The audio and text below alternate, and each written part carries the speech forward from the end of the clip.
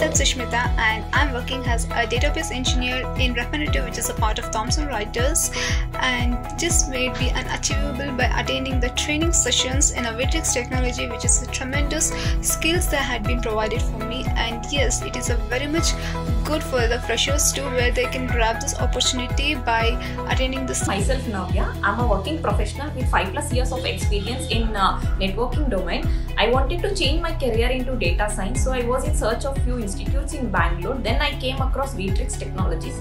This is one of the best decisions I have made in my life by joining Vtricks Technologies because all the course curriculum and uh, pedagogy was matching my requirement.